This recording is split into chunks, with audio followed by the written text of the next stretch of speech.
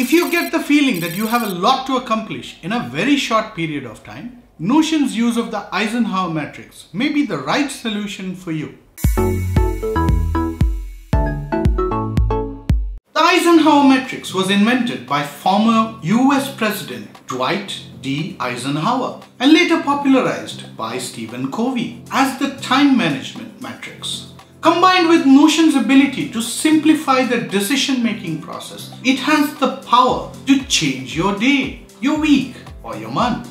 The matrix is a 2x2 grid with urgency and importance as the two decision making pillars. These are independent yet related to each other. Covey gave each of these quadrants numbers with distractions in quadrant 4 coming from areas like Twitter, Instagram, Facebook and email, you may want to keep quadrant 4 playing a very small part of your life. Quadrant 3 items are pretty mundane or interruptions and hence form a big part of delegate, outsource or automate strategies for people and businesses. Quadrant 1 represents things that are seemingly on fire and represent the majority of us fighting day-to-day -day battles. Probably the biggest cause of quadrant 1 battles is the fact that we aren't spending enough time on quadrant 2, which represents a well-paced task. Let's look at how we can do this inside of Notion.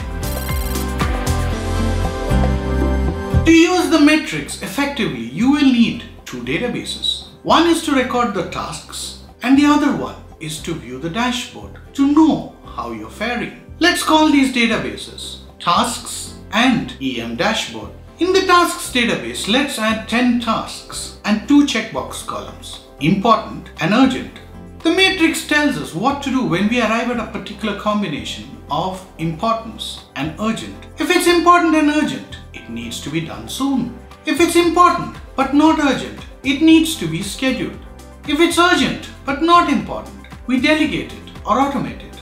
And if it's neither important or urgent, it should be trashed. Now let's build that into the actions formula.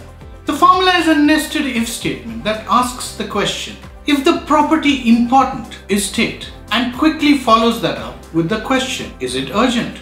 If both conditions are satisfied, then do and schedule are the true and false conditions.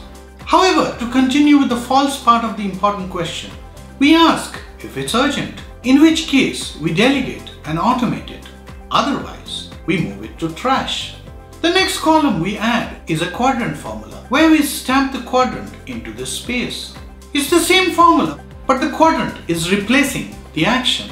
Since Notion does not automatically create relations based on conditions, we have to manually create relations with the EM dashboard. So let's create a relation column. Later when we click on it, you can choose the relevant row. Finally, let's create a column called match so that we can match the quadrant from the formula and the relation that we have created. This is pretty useful if we change one of our decisions later on. Let's use the leftmost calculate field and add a count function. In the task database, you have four hidden columns from quadrant 1 to quadrant 4. These are simple formulae used to stamp the quadrant with 1 if the quadrant matches the quadrant column. This is useful for the roll-up feature with the EM dashboard, which we shall see next.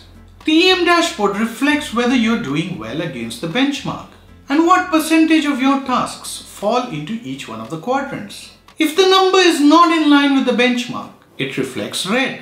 Just remember, however, that we want as many tasks as possible in quadrant 2 because that's the magic productivity quadrant.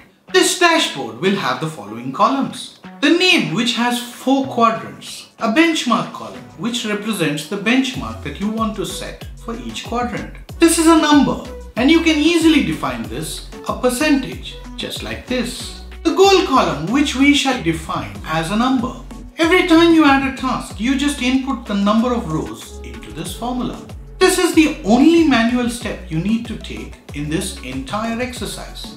In the alert formula column, the condition you will add is that the benchmark needs to be always higher than the actual achievement, which is yet another hidden column that we call as contribution percentage, which will also be a formula. However, for quadrant 2, the condition is in the reverse. You are looking to keep the contribution percentage higher than the benchmark so that you can maximize time on it. Now let's look at the hidden columns.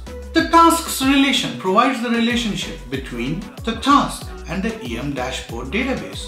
We will add four roll-up columns, quadrant 1 to quadrant 4.